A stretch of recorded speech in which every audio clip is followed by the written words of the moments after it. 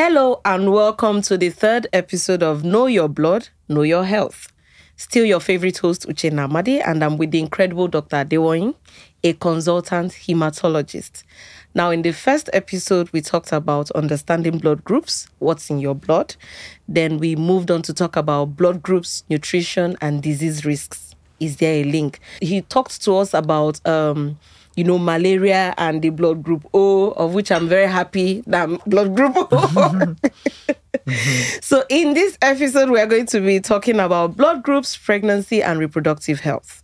Do not forget to like, subscribe, share, and follow SynLab Nigeria on YouTube and on Spotify. Dr. Adewoyin, now we are going to go back a bit because I know you mentioned um, the RH factor Right. in the in one of the episodes. So, want to talk about how it affects pregnancy. Can you, you know, throw more like because I know a lot of people just focus on the genotype. Yes. When the church tells them or their religious organization tells them, okay, you want to get married, go and check yourself. Even though some of them talk about blood groups and genotype, the people are more focused on the genotype. Yeah. But I think they need to also know that it is important to know their blood groups and their rhesus. So I'm asking, how does a couple's blood group and RH factor affect pregnancy?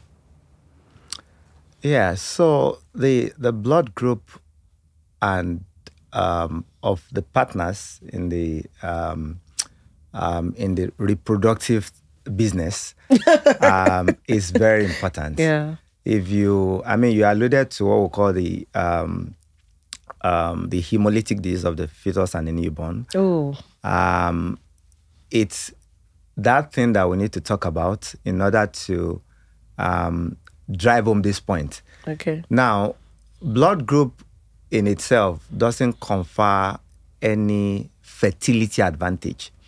So the fact that you are blood group O or blood group B doesn't make you more fertile or fecund. It's it's the problem around um, mismatch of blood group antigens, especially the rhesus factor, has to do with import or the, the impact on the unborn child. Yes. Now, I will play a scenario, a clinical scenario. Okay. And take, for instance, if you have an unborn child that is rhesus factor positive, it's got the rhesus factor. Yes. And then you have a mom who is rhesus negative. What you're going to have is that you can have sensitization of the mother. Hmm. We call it sensitization, or what we call RH isoimmunization. That's a bigger term.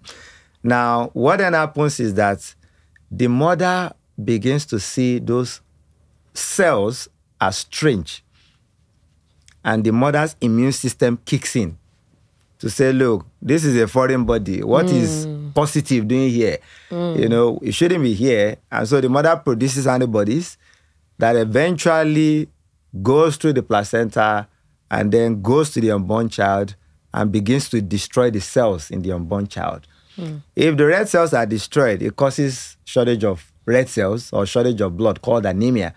And then if it progresses and is not arrested, it's going to make the child's heart to fail Wow. what we call hydrops fetalis. And then the child begins to swell, and then that can culminate in death. So that is an outcome nobody wants. Hmm. Nobody wants to carry a pregnancy and lose the, the pregnancy. So that is the biggest risk that we have to deal with when there is a mismatch in blood group between the unborn child and between the mother. But that factor, the rhesus factor that the unborn child is carrying, is coming from the dad. Okay. So we can make an extrapolation. Mm. And that's why we always do what we call zygosity check for the father. It's not just, and that's why we encourage men to come for antenatal checks too. Wow. It Men. is one of the reasons why, you know, we encourage when you're coming for antenatal, the pregnancy is not just about the wife, it's about the wife and the husband. And we need to check male and female, you know, so we can be able to project and say, oh, yeah, ah, this father is RH positive, this mother is RH negative. We might have a problem of this, you know. And then if we are beginning to notice those problems, you know, um, in the unborn child, we're beginning to look at look how do we take sample let's look at the severity the amount of damage of the red cells that is happening in the unborn child so that we can plan you know um, how to salvage the situation and reduce the chance of death for the unborn child so this is one prime reason why we always like to have that rh factor established so that we can manage that pregnancy better in um, in in, in um, pregnant women Wow. So I wanted to ask if blood group mismatches between partners can cause fertility or pregnancy problems. So I see you've addressed the pregnancy part. Correct. Fertility problems, aside the RH, other blood group mismatch, can they cause um, fertility problems? No. So there are no fertility issues that can come out of blood group antigens. Okay. Because it doesn't confer any advantage on fertility. It doesn't help to increase the number of eggs or the quality of the sperm cells. It has no association with that. But it clearly has association with the pregnancy. Um, and it can negatively impact pregnancy outcome if there's a mismatch in those blood group antigens. Yeah. Speaking of the hemolytic disease of the newborn, um, in your experience, are there ways or do clinics, let me put it that way, have um, uh, do they have setups for counseling um, parents, you know, that may be at risk for this? Because you've beautifully stated Yeah. how it can come about. So, how do people get aware? Because a lot of our listeners might not even have a clue that this exists, Yeah. except maybe for the medically inclined. Yeah. So, what what would be your suggestion, or are there existing, you know, awareness campaigns for this HDN?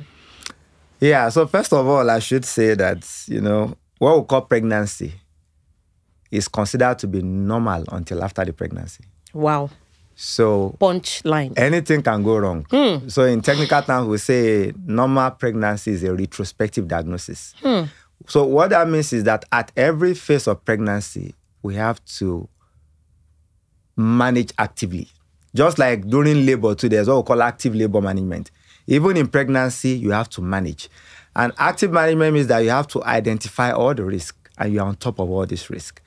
And so um, pregnancy and childbirth should be offered in a setting where there is that capacity to identify this risk and manage. Hmm. So you see principles like early booking hmm. we encourage because if you book early, there are what we call booking visit, where we'll do a lot of test parameters, including this ABO blood group, including the rhesus factor. And so you know early in pregnancy or even before pregnancy, of course, we'll recheck during pregnancy. And then you know this information, the obstetrician and the team taking care of the pregnant woman, they're going to be able to say, no, we might have a problem here. And even before the problem surface, they are already acting on it.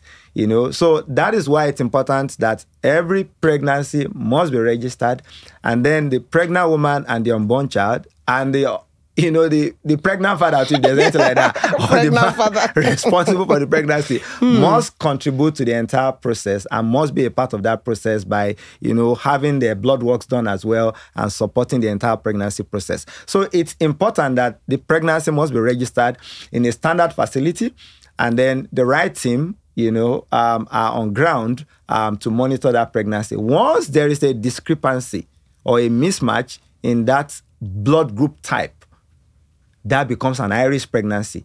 And there is protocol for managing these high-risk pregnancy situations. So because of what I explained earlier about the hemolytic disease of the fetus and the newborn, like I said, Wow. pregnancy is hard work and nobody wants to lose that child. You know, so it is important that this knowledge is out there and people know that it's not just that we like seeing the face in clinics, you know, it is that we need to ensure that we get our job done. It's a duty of care to ensure that all these tests are done. And then we do all this monitoring to ensure safety of mother and the unborn child. So it's like you're reading my mind ahead of time because I was going to ask you why blood group testing is part of a standard antenatal, you know, care test. But Right. you've beautifully explained that.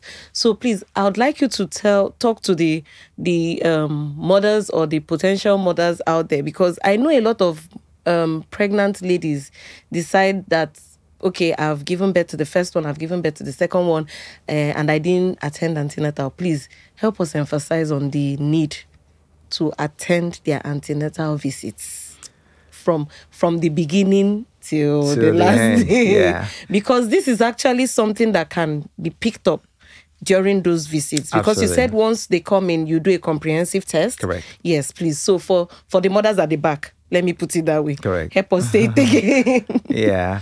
So it is important to have early booking. yeah. Um, and one of the what we try to achieve with early booking is that uh, you want to date that pregnancy correctly because some people can't even remember their last period. Number two, and that is important even in terms of managing that pregnancy, in terms of outcomes, in terms of when do you need to do this test, when do you not need to do this test. Uh, but for the sake of this conversation, the prime reason is because we need to have all this characterization done. We need to know your blood group, ABO blood group. We need to know your rhesus factor. Of course, genotype and all those other things follow. And when we know, we can actively manage. You see, the first pregnancy can be normal, second pregnancy can go wrong No two pregnancies are the same. are the same. As a matter of fact, there are some complications that are associated with ABO mismatch or blood group mismatch that will not come out during that first pregnancy. Because hmm. that first pregnancy is when the person gets sensitized. yes. So the problem or the magnitude of the problem will be minimal. But by the time there's a second, Second pregnancy, one, subsequent ones. that is when there will be a lot of problems you know so it's important to have all of these you know checks done so that we don't have stories that touch the heart you know yeah Wow. Another amazing journey on blood groups, pregnancy, and reproductive health. Please do not forget to like, subscribe, share, and follow SynLab Nigeria on YouTube and Spotify. Stay with us. There is more coming your way.